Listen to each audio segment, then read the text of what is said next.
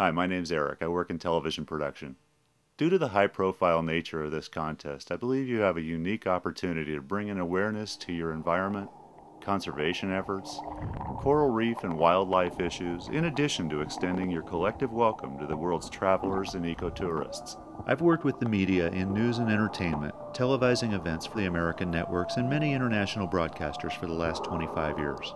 I've had the pleasure of traveling extensively and diving the world's oceans. My time spent working with the research and scientific communities has made me a conscientious steward of this planet, and especially our water sources.